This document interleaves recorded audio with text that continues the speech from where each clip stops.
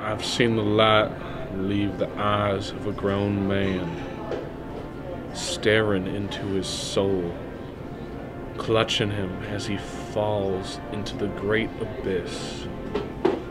I've cradled a man's head as all the memories of his life flashed before his eyes and faded away. I've seen things, things I would never ask for another person to see. I have memories that I would never ask for another to carry. Yet here I am, asking you to honor what you have been given.